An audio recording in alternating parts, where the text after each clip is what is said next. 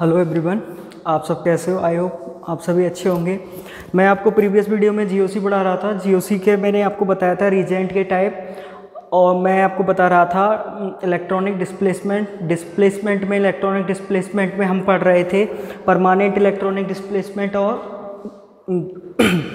Temporary electronic displacement तो दोनों को पढ़ रहे थे हमने परमानेंट में फिर पढ़ा था इंडक्टिव फैक्ट आज हम इंडक्टिव फैक्ट के बारे में जानेंगे इंडक्टिव फैक्ट है क्या? तो देखिए इंडक्टिव फैक्ट इंडक्टिव फैक्ट नाम से ही पता चल रहा है इंड्यूस इंड्यूस हुआ है ये. किसी के कारण इंड्यूस हुआ है और किसके कारण इंड्यूस हुआ है? It is induce due to the difference difference of electron negativity क्या आएगा? Difference of electron negativity between carbon and another atom मतलब कार्बन और किस कार्बन से जुड़ा हुआ कोई भी दूसरा एटम है, उसके मध्य जो इलेक्ट्रोनेगेटिविटी डिफरेंस होता है, विद्युत ऋणता में अंतर होता है, उसके कारण क्या इंड्यूस होता है? इंडक्टिव इफ़ेक्ट अब जो इंडक्टिव इफ़ेक्ट है क्या? It is the permanent displacement जो मैं आपको पहले बताया है। और ये परमानेंट डिस्प्लेसमेंट किसका होता है? सिग्मा इलेक्ट्रॉन्स का। किसका होता है? सिग्मा इलेक्ट्रॉन्स का। It is the permanent electronic displacement of sigma electron along with carbon chain यही लिखा हुआ है it is the permanent displacement of sigma electron along with carbon chain मतलब कार्बन चेन में सिग्मा इलेक्ट्रॉनों का डिस्प्लेसमेंट होता है परमानेंट इलेक्ट्रॉनिक डिस्प्लेसमेंट होता है। वो ही क्या होता है? इंडक्टिव इफ़ेक्ट ये कब होता है? When atom group has different electron negativity ये कब होता है? जब एटम्स और ग्रुप के मध्य डिफरेंट इलेक्ट्रॉन नेगेटिविटी वाले एटम जुड़े हों। जैसे यदि मैंने ले लिया इधर भी कार्बन और इधर भी कार्बन तो दोनों की दोनों सेम है, दोनों की इलेक्ट्रॉन नेगेटिविटी सेम है तो यहाँ पर आई इफ़ेक्ट जनरेट नहीं होगा। यदि यहाँ पर मैंने कोई एटम ले लिया जेड और सपोज़ किया इसकी इलेक्ट्रॉन नेगेटिविटी कम है या ज़्यादा है, वो मैटर नहीं करती। मैंने बोला है कि इसकी इलेक्ट्रॉन नेगेटिविटी इससे डिफरेंट है। तो यहाँ पर क्या इंड्यूस होगा? इंडक्टिव इफ़ेक्ट क्या इंड्यूस होगा? इंडक्टिव इफ़ेक्ट और ये क्या होता है? It is the distant dependent effect मतलब ये डिस्टेंस पे डिपेंड करता है। जैसे सपोज़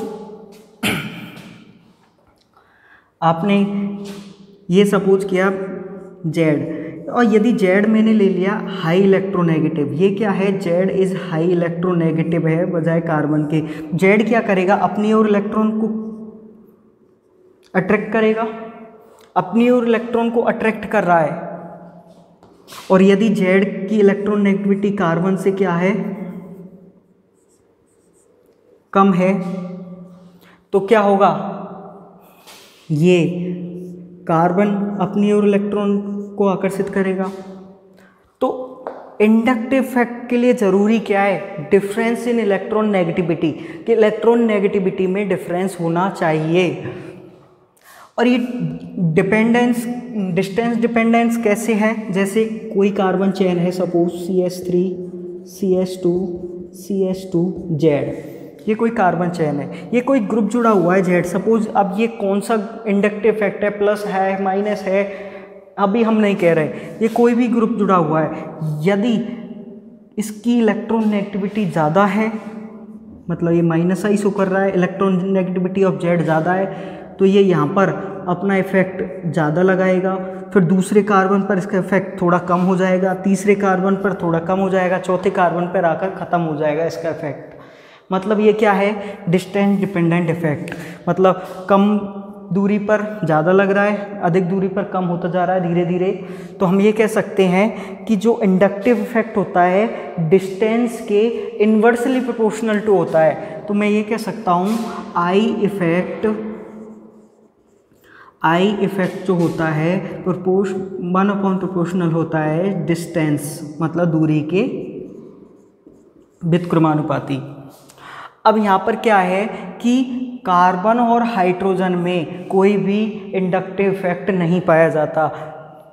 थोड़ा बहुत माइन्यूट अंतर होता है इनकी इलेक्ट्रोनेगेटिविटी में, इसलिए हम कहते हैं कि कार्बन और हाइड्रोजन के मध्य कोई भी इंडक्टिव इफ़ेक्ट नहीं पाया जाता। नेक्स्ट है आपका inductive effect depend on the difference in electron negativity जो मैंने शुरू में बताया था कि ये डिफरेंस इन इलेक्ट्रॉन नेगेटिविटी के कारण ही उत्पन्न हुआ है तो ये डिपेंड भी उसी पे करेगा।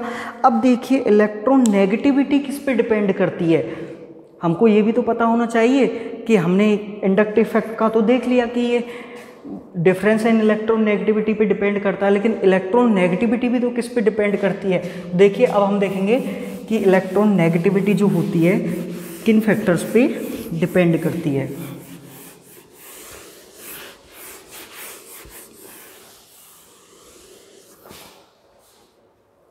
जो आपकी इलेक्ट्रॉन नेगेटिविटी है, वो डिपेंड करती है दो फैक्टर्स पे। पहला आपका फैक्टर आता है नेचर ऑफ़ एलिमेंट पहला फैक्टर क्या आता है? Nature of element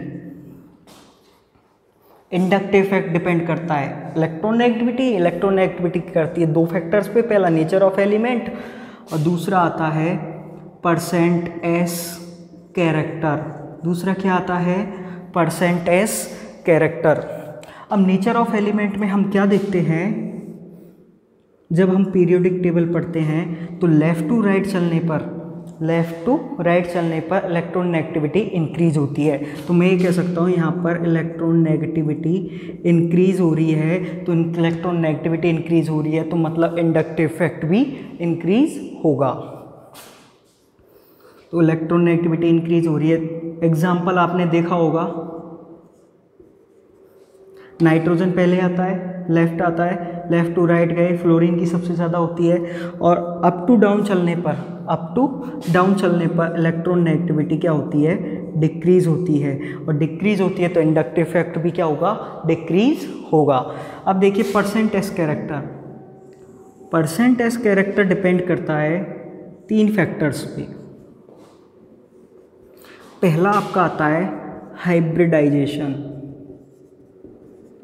पहला आपका क्या आता है? हाइब्रिडाइजेशन, दूसरा आता है आपका बॉन्ड एंगल, और तीसरा आता है आपका रिंग साइज़। तीन फैक्टर्स पे डिपेंड करती है hybridisation, percentage, character, hybridisation, bond angle और रिंग साइज़। देखिए, हाइब्रिडाइजेशन, अपन ऑर्गेनिक केमिस्ट्री पढ़ रहे हैं। ऑर्गेनिक केमिस्ट्री मोस्टली तीन ही होते हैं हाइब्रिडाइजेशन। एक तो एस पी दूसरा एस पी टू तीसरा एस पी थ्री अब बताओ, इनमें से आपको देखकर ही पता चल रहा होगा कि किसमें सबसे ज़्यादा परसेंटेज कैरेक्टर है। परसेंटेज कैरेक्टर कैसे निकालेंगे? कि टोटल ऑर्बिटल कितने हैं इसमें? दो। एस के कितने हैं? एक। तो one by two into hundred कितना आ गया? फिफ्टी परसेंट यहाँ पर एस के कितने हैं? एक। टोटल ऑर्बिटल कितने हैं? तीन। क्योंकि एक एस का, दो पी के। तो one by three into hundred यहाँ कितना आ गया? थर्टी थ्री परसेंट इधर यहाँ पर ट्वेंटी फाइव परसेंट तो सबसे जितना ज़्यादा परसेंट एस कैरेक्टर उतनी ही ज़्यादा इलेक्ट्रॉन नेगेटिविटी ही ज़्यादा इलेक्ट्रॉन नेगेटिविटी तो उतना ही ज़्यादा इंडक्टिव इफ़ेक्ट तो ये आपको बात समझ में आ गई होगी कि सबसे ज़्यादा कहाँ होगा एसपी में। एसपी में परसेंट एस कैरेक्टर तो एस जहाँ पर भी एसपी हाइब्रिडाइज एटम है कार्बन एटम उसकी इलेक्ट्रोनेगेटिविटी ज़्यादा होगी sp2 की कम होगी sp3 की उससे भी कम होगी। नेक्स्ट आता है बॉन्ड एंगल यहाँ पर देखिए sp में बॉन्ड एंगल कितना होता है? 180 डिग्री। 180 डिग्री। यहाँ पर बॉन्ड एंगल कितना होता है sp2 में? 120 डिग्री। यहाँ पर बॉन्ड एंगल कितना होता है? 109 डिग्री। 28 मिनट। अब देखिए परसेंटेज किसमें ज़्यादा है? एसपी में। मतलब जितना ज़्यादा बॉन्ड एंगल होगा, उसमें परसेंटेज कैरेक्टर भी उतना ज़्यादा होगा। तो मैं ये कह सकता हूँ कि percentage character proportional to bond angle ये भी सही है। और कैसे निकालते हैं, वो बता देता हूँ। निकालते हैं cos theta S character S minus one इसके अकॉर्डिंग हम क्या निकालते हैं? बॉन्ड एंगल रिंग साइज़ अब ये आता है रिंग साइज़ रिंग साइज़ में होता है कि जो छोटी रिंग होती है, उसका परसेंटेज कैरेक्टर कम होता है या सॉरी जो छोटी रिंग होती है, उसका परसेंटेज कैरेक्टर ज़्यादा होता है और उसकी इलेक्ट्रोनेगेटिविटी भी ज़्यादा होती है। जैसे आपको एग्जांपल से बताता हूँ, ये आपने लिख लिया होगा, एक बार इसे लिख लीजिए।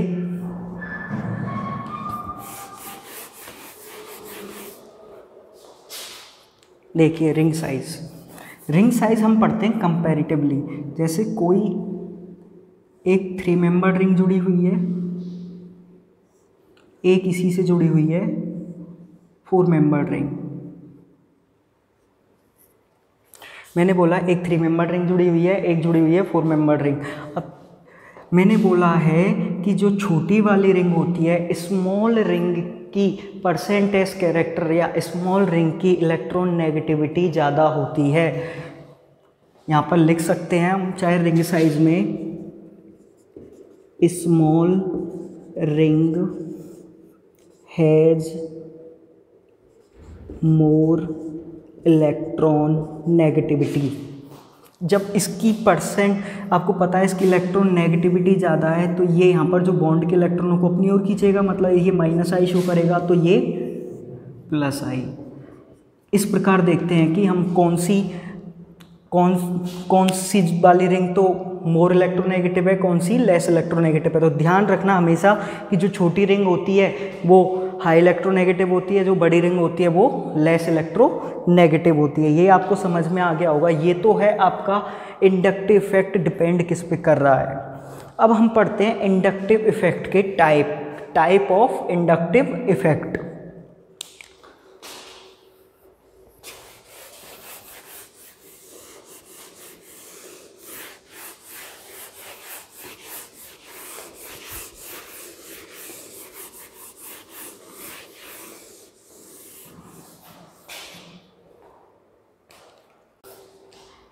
देखिए, मैं इंडक्टिव इफ़ेक्ट के टाइप बता रहा था प्लस आई और माइनस आई दो प्रकार के होते हैं। अब प्लस आई हम देखते हैं कि जो ग्रुप जुड़ा हुआ है, यहाँ पर ग्रुप कौन सा जुड़ा हुआ है? जेड तो हम देखेंगे कि जेड पर कौन सा इफ़ेक्ट इंड्यूस हो रहा है, उसे बोलेंगे प्लस आई या माइनस आई यदि जेड की इलेक्ट्रोनेगेटिविटी कार्बन से कम है तो मतलब कार्बन अपनी ओर इलेक्ट्रॉन खींचेगा तो जेड पर कौन सा चार्ज जनरेट होगा? पॉजिटिव चार्ज और पॉजिटिव चार्ज जनरेट होता है तो कौन सा इफ़ेक्ट प्लस आई इफ़ेक्ट यहाँ पर कौन सा चार्ज जनरेट हो रहा है? नेगेटिव तो यहाँ पर कौन सा इफ़ेक्ट माइनस आई इफ़ेक्ट ये कब है? जब जेड की इलेक्ट्रोनेगेटिविटी ज़्यादा है कार्बन से.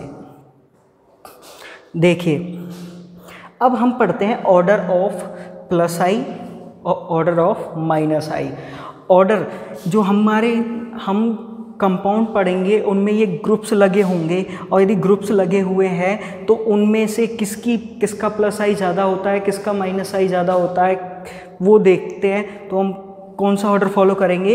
ये।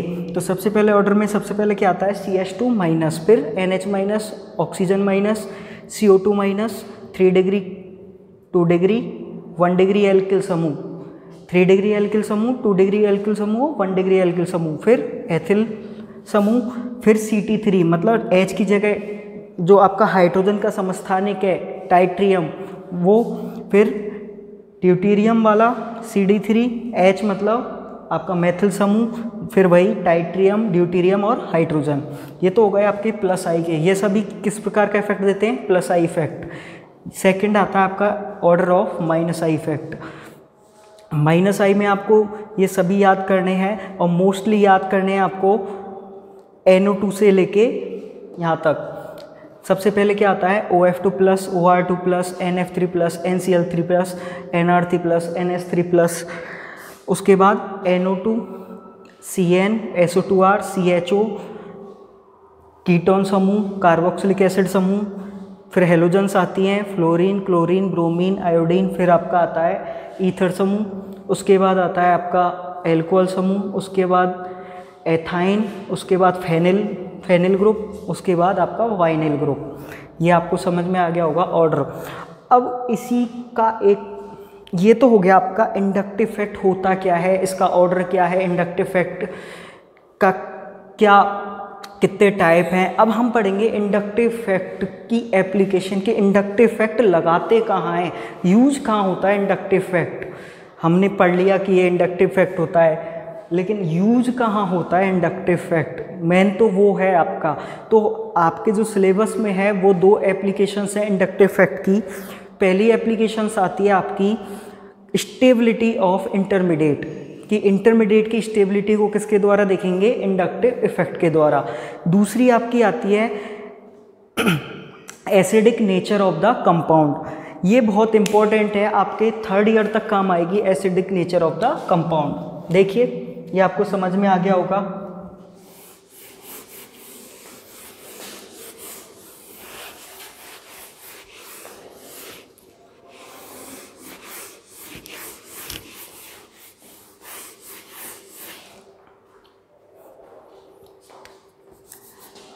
अब हम पढ़ते हैं एप्लीकेशन ऑफ़ इंडक्टिव इफ़ेक्ट और उसमें भी आपके सिर्फ़ दो ही एप्लीकेशन है। पहला तो क्या है? स्टेबिलिटी ऑफ़ इंटरमीडिएट दूसरा क्या है आपका?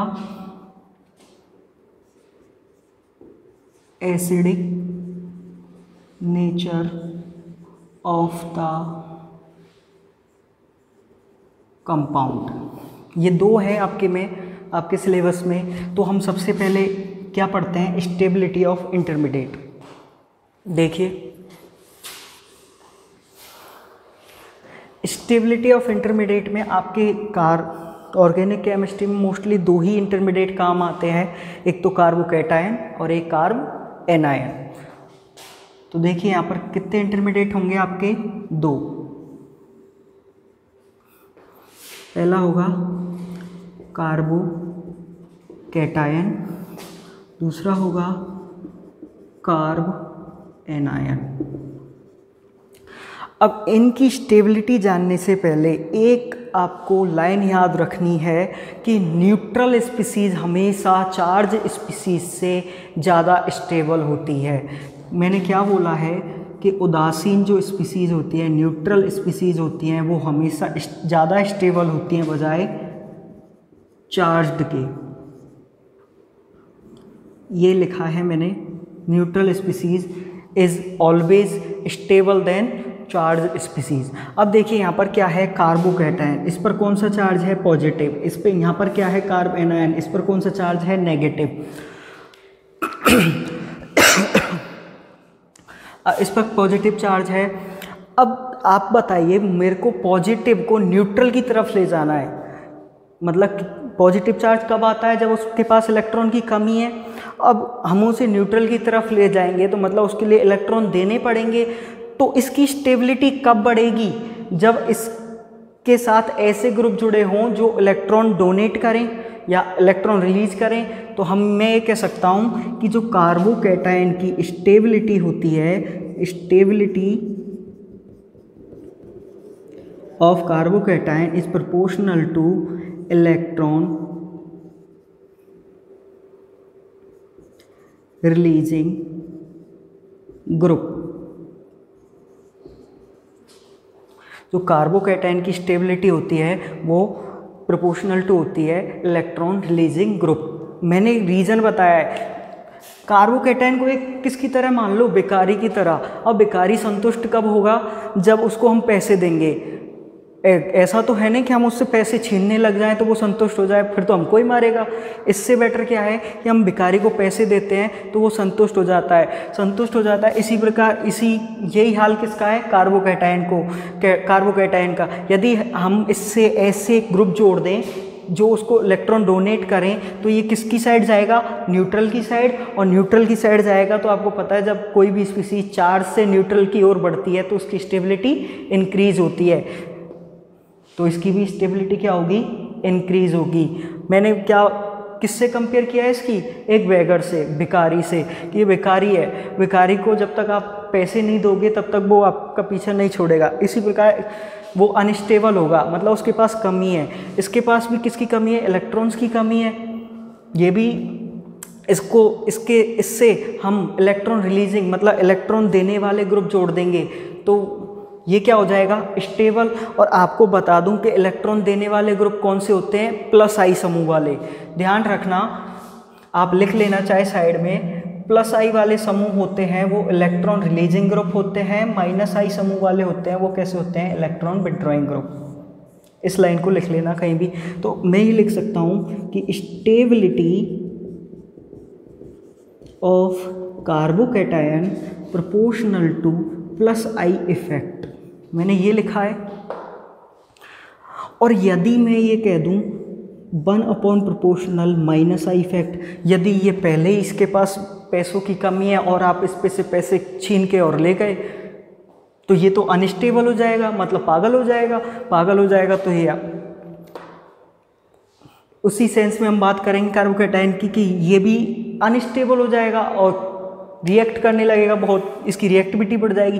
तो हमको स्टेबिलिटी देखनी है। तो स्टेबिलिटी के लिए हम क्या क्या कहेंगे कि कार्बोकेटाइन की जो स्टेबिलिटी होती है इलेक्ट्रॉन रिलीजिंग ग्रुप के प्रोपोर्शनल टू होती है, या प्लस आई समूह के प्रोपोर्शनल टू होती है। प्लस आई इफ़ेक्ट के प्रोपोर्शनल होती है। क्योंकि प्लस आई कैसे होते हैं? इलेक्ट्रॉन रिलीजिंग और यदि और यदि इसकी स्टेबिलिटी इससे माइनस आई जुड़े हुए हैं मतलब इलेक्ट्रॉन खींचने वाले पहले ही कमी है और खींचने वाले जुड़ गए तो इसकी स्टेबिलिटी क्या हो जाएगी? कम हो जाएगी। तो ये कह सकते हैं कि कार्बोकैटाइन की स्टेबिलिटी होती है, वो प्लस आई के तो प्रोपोर्शनल और माइनस आई के क्या होती है? इनवर्सली प्रोपोर्शनल होती है। एग्ज़ाम्पल देखते हैं हम इसका। कार्बो एनाइन को हम बाद में देखेंगे। एग्ज़ाम्पल देखिए इसका।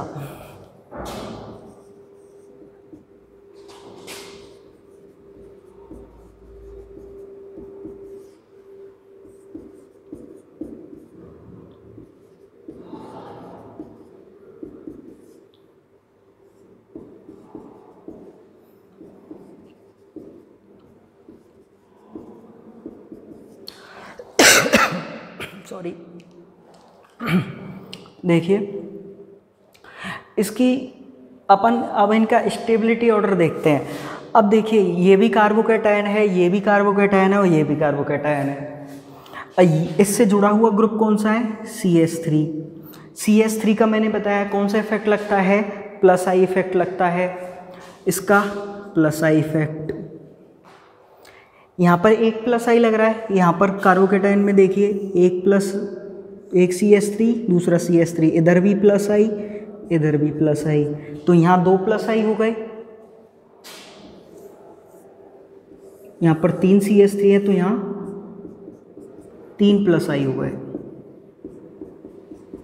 अब देखिए,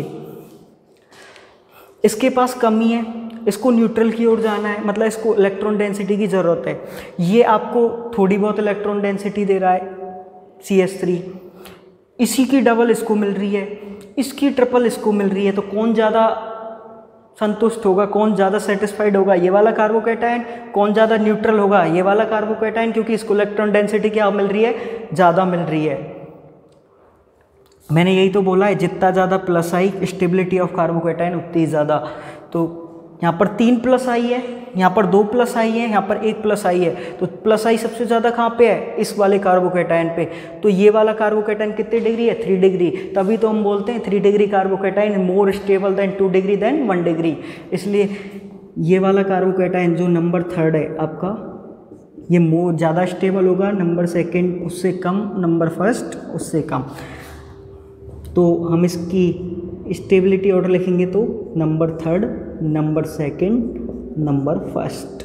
Reason क्या है? रीज़न क्या लिखेंगे हम? कि लेफ़्ट टू राइट चलने पे, हम क्या लिखेंगे? कि लेफ़्ट टू राइट चलने पे प्लस आई इफ़ेक्ट इंक्रीज हुआ है। जितना ज़्यादा प्लस आई इफ़ेक्ट इंक्रीज होता है stability of carbocation stability stability of carbocation increases तो सबसे ज़्यादा कार्बोकेटाइन की स्टेबिलिटी कहाँ होगी? यहाँ पर। क्योंकि यहाँ पर तो तीन प्लस आई हैं। जितने ज़्यादा प्लस आई, उतनी ज़्यादा स्टेबिलिटी ये सब कुछ समझ में आ गया होगा। आपको हम नेक्स्ट बहुत सारे एग्ज़ाम्पल नेक्स्ट वीडियो में करेंगे। तो एक बार मैं फिर रिवाइज कर देता हूँ इस इंडक्टिव फैक्ट की एप्लीकेशन को। ध्यान से देख लेना। स्टेबिलिटी ऑफ़ इंटरमीडिएट, हमने देखे थे दो इंटरमीडिएट होते हैं कार्बोकेटाइन कार्बेनाइन हम बात कर रहे थे कार्बोकेटाइन कार्बोकेटाइन पॉजिटिव चार्ज मतलब इसके पास इलेक्ट्रॉन की कमी है। और हम इसको न्यूट्रल बनाने के लिए क्या करेंगे? इसको इलेक्ट्रॉन दिए जाएँगे। मतलब इसको न्यूट्रल करना है तो हम इसको इलेक्ट्रॉन देंगे। तो हम ये कह सकते हैं कि इसकी स्टेबिलिटी बढ़ाने के लिए हम इससे ऐसे ग्रुप जोड़ दें जो इलेक्ट्रॉन डोनर हों या जो इलेक्ट्रॉन रिलीज़ करें तो मैंने यही बोला है कि कार्बोकेटाइन की स्टेबिलिटी जितने इलेक्ट्रॉन रिलीजिंग ग्रुप ज़्यादा होंगे, उतनी ही बढ़ेगी प्रोपोर्शनल टू होती है। फिर मैंने बोला है, आपको यहाँ पे बताया कि प्लस आई वाले जो समूह होते हैं, वो इलेक्ट्रॉन रिलीजिंग होते हैं माइनस आई वाले इलेक्ट्रॉन विड्रॉइंग होते हैं। प्लस आई वाले समूह, जितना ज़्यादा प्लस आई बढ़ेगा, उतनी ज़्यादा कार्बोकेटाइन की स्टेबिलिटी बढ़ेगी। सबसे मैंने न्यूट्रल और चार्ज हमको न्यूट्रल की तरफ़ ले जाना है कार्बोकेटाइन हो या कार्ब एनायन हो। और कार्बोकेटाइन को न्यूट्रल ले जाने के लिए electron withdraw, sorry, electron releasing group जोड़ेंगे। इसलिए इलेक्ट्रॉन रिलीजिंग ग्रुप के प्रोपोर्शनल हो गया, प्लस आई के प्रोपोर्शनल हो गया। इधर मैंने आपको एग्ज़ाम्पल दे के बताया कि यहाँ पर एक प्लस आई है तो यहाँ पर दो प्लस आई, यहाँ पर तीन प्लस आई। प्लस आई सबसे ज़्यादा कहाँ पे? थर्ड में। थर्ड में सबसे ज़्यादा प्लस, जितने ज़्यादा प्लस आई, उतनी ज़्यादा स्टेबिलिटी। जितने ज़्यादा प्लस आई, उतनी ज़्यादा स्टेबिलिटी सबसे ज़्यादा थर्ड की, फिर सेकंड की, फिर फ़र्स्ट की। ये आपको समझ में आ गया होगा आई होप नेक्स्ट वीडियो में हम और भी एग्जांपल पढ़ेंगे कार्बोकेटाइन की स्टेबिलिटी और भी देखेंगे कार्बोनाइन की स्टेबिलिटी देखेंगे। परसेंटेज फैक्टर पे भी क्वेश्चंस करेंगे, इसलिए keep watching the video don't skip